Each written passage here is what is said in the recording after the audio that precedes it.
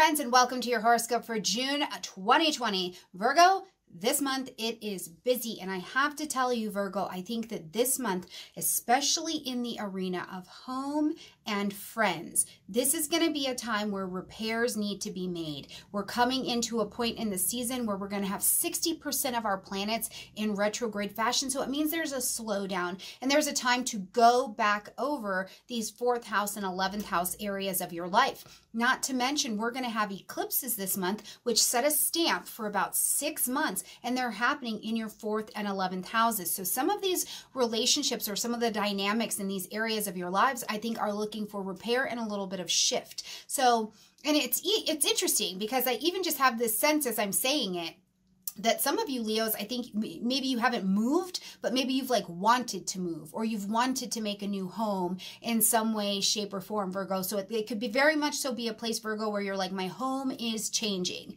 My I, I want to make a new home in some way, shape, or form. But that would also, if you take that step to have this new home, whether it's the internal foundation or a physical location, it seems like you're also attracting a new tribe of people or friends to you. And during this this next six months, the um, friendships or the associations or the groupings that you have, Virgo, are going to be tested and challenged to make sure they're the right fit to come to your new house, whatever that happens to be. Oh my gosh, let's jump in here and let's talk about what's happening this month.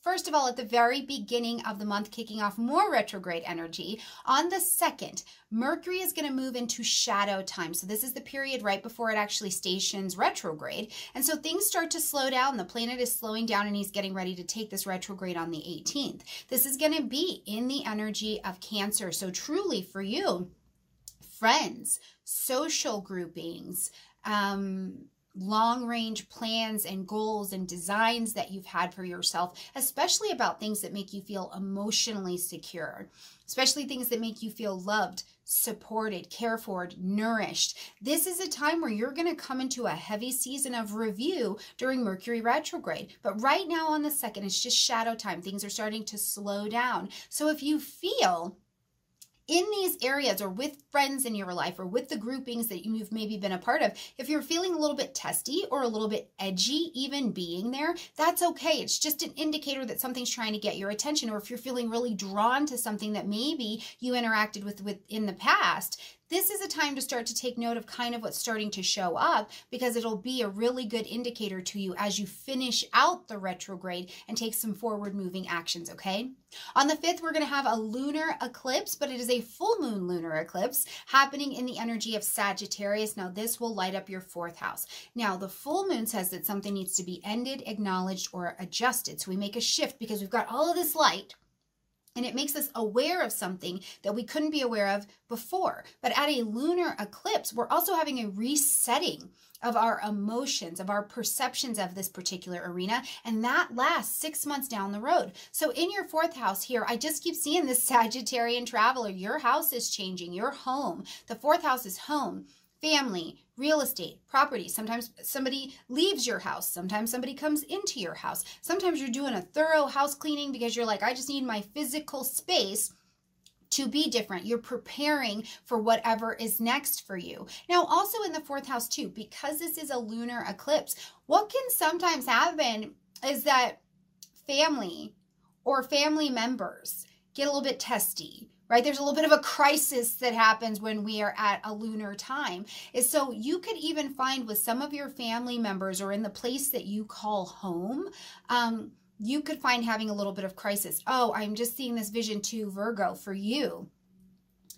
Because this is going to be a high Cancerian month as well with some of these energies, what could be happening for you at this lunar eclipse is that your home, like inside here, in the place that wells with emotions and and feelings and it's not going according to plan, this could really be very lit up for you this month. And it's just because you're changing. Home for you is changing, okay? Oh, that is beautiful for you guys. So I would love to hear about that. Please tell me how this manifests for you in the comment section down below.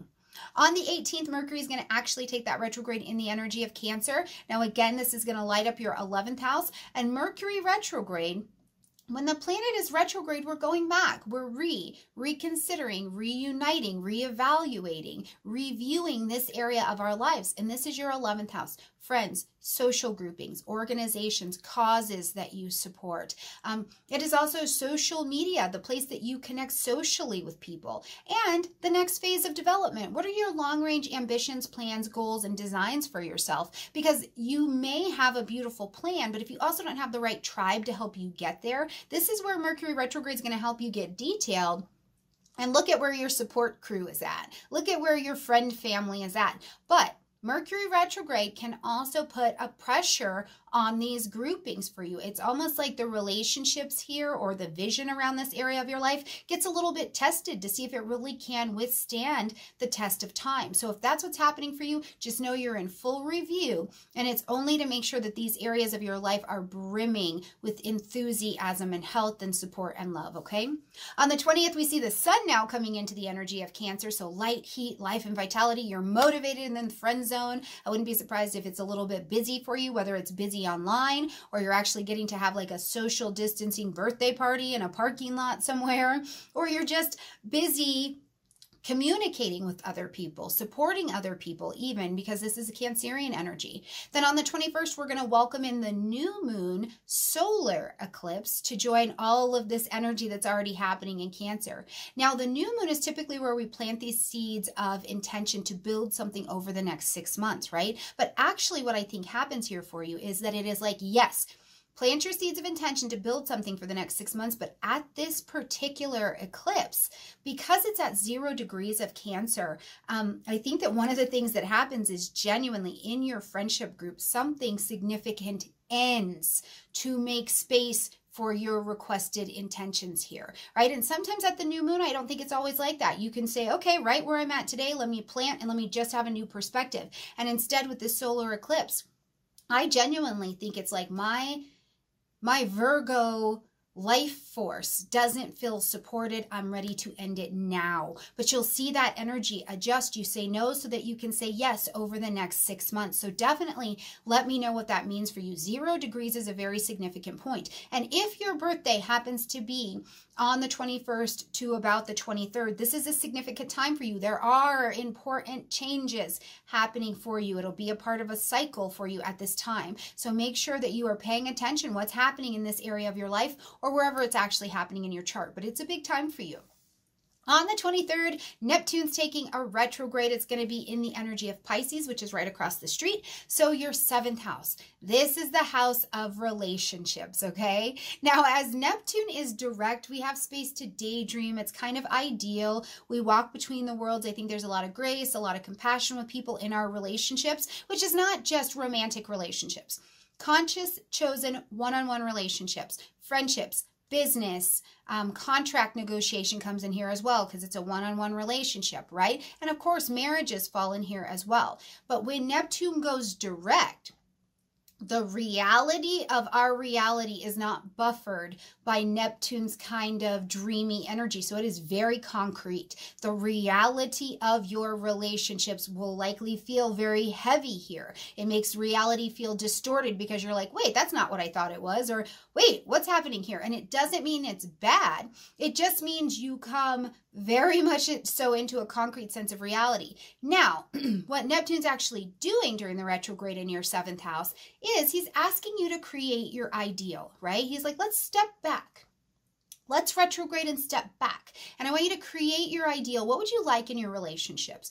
Who would you like to be? What is your sane, sound relationship ideal? Who do you want to show up as? Who do you want to have in your life? And that includes romance, business, and friendship, right? So Neptune's asking you to create the ideal so that as he comes out of retrograde in November, you can create that and have that in material reality. And the example I always use, Virgo, is that before a chair was a function functional material, chair, useful piece of equipment. It was just a vision. We got to vision these things so that we can bring them into reality. So this is a wonderfully um, spiritual time, I think, for you around relationships. Who's your spirit tribe?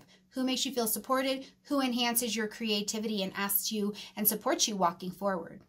On the 25th, Venus is going to come out of retrograde at 5 degrees of Gemini. So this is still lighting up the tip top of your chart, right? We have got energy in the career sector. Now, Venus has been retrograding here. So you've spent some time, about 40 days, looking over value. What's the value? Am I getting my value? Do I value this? Do I value what I'm known for? It's a very big question of value of relationships and finances, and likely too your house is changing so much this month that I think during the Venus retrograde, maybe even some things that happen as you were reevaluating your money, right? If you're trying to move or you want to move or something's changing in your house, you would have been relooking at your money, right?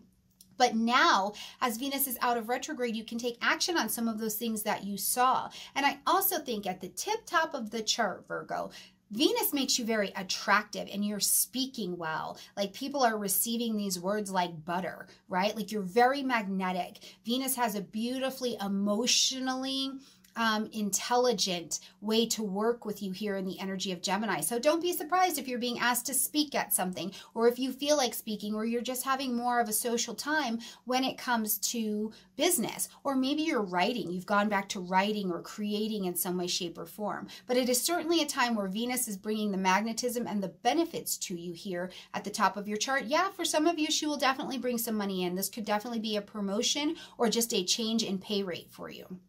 On the 28th, Mars is coming home into the energy of Aries where he is all the comfortable, right? Now, this is going to light up your eighth house space. So it's a wonderful energy to use Mars. He's like action, energy, assertion, aggression, movement, desire. But this is in your eighth house of joint resources. So this could actually be a time too, Virgo, where your partner has a change in money or finances or earnings in some way, shape, or form, or you guys are even changing, um, the way that you you interact the desires that you have for your life together. Now if this is not necessarily in a romantic partnership in any kind of partnerships like debt you're cleaning out your debt you're detoxing your body you are paying back that loan you are taking out a loan you're doing a collaboration with somebody you're getting that therapy you're actually doing your astrology you're practicing it remember venus is at the tip top of the chart speak your astrology speak your healing craft this will be a beautiful time to do that but whatever it is, Mars is ready to go. He's ready to do stuff here.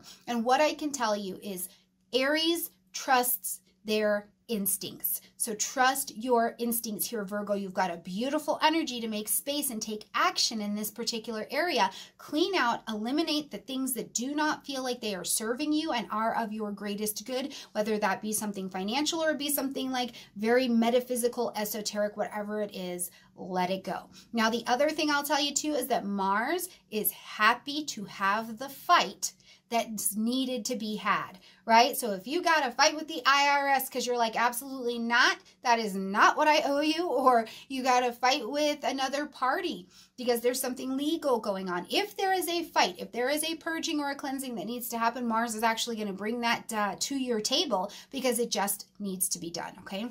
As we close out the month, we're going to have Jupiter and Pluto coming together again for the second of their third set of conjunctions they're going to do. Now, we saw the first set in April and they were both direct. So we know that here in the fifth house, right? The house of children, the house of joy, the house of play, expression, new creations, hobbies, risks, romance. You started something new then because as Jupiter and Pluto come together, they are like, boom let's achieve, right? And it is focus meets drive, meets desire, meets wisdom and expansion, and you are just set to go. So you begun the change there in April.